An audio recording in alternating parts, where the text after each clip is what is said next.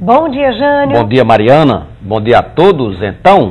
Jânio, a gente sempre fala aqui sobre a questão dos buracos nas ruas de Natal. E a Prefeitura de Natal também está ciente que não adianta só fazer a operação tapa-buraco, que o que ela tem buscado muitos recursos até em Brasília para ver se consegue tapar os buracos.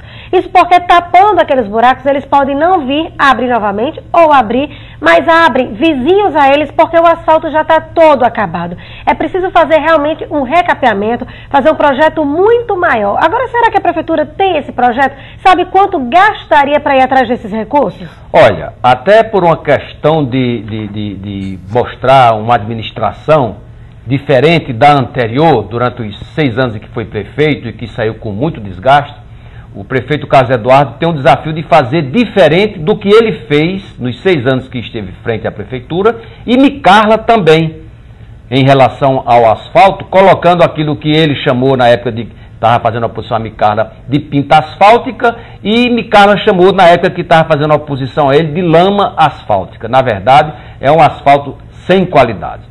O fato, a realidade do asfalto de Natal, dessa operação tapa-buraco, é percebido de forma diferente pelas autoridades e pela população. A população tem um sentimento, pela reação, pelas reclamações que a gente está vendo, de que os 200 dias que o prefeito pediu para resolver na operação tapa-buraco esse problema, ele não resolveu. E o problema até está pior nessa percepção, porque aqueles buracos que foram tapados, em seguida, ao lado deles, novos buracos surgiram e em outras áreas também.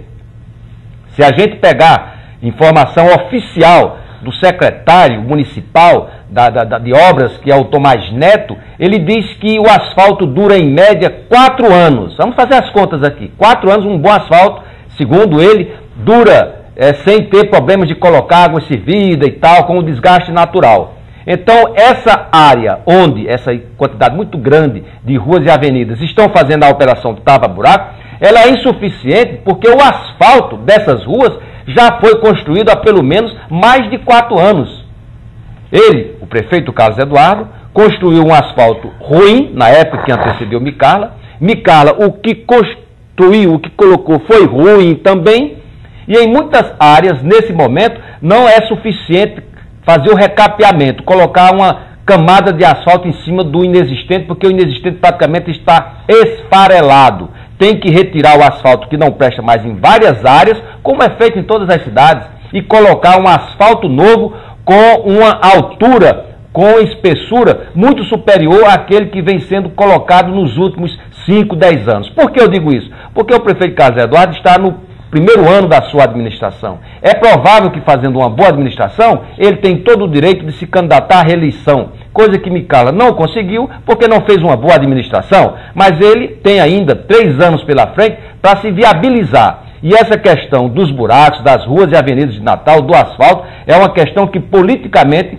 ele tendo uma visão de que, sendo reeleito, vai ficar oito anos na prefeitura de Natal, com certeza não vai querer fazer um asfalto para durar quatro, cinco anos, porque daqui a quatro, cinco anos, em plena administração, ele vai ter esse problema que está tendo agora no início, mas talvez tenha no final da administração. Então, o desgaste vai ser muito maior, inclusive eleitoralmente.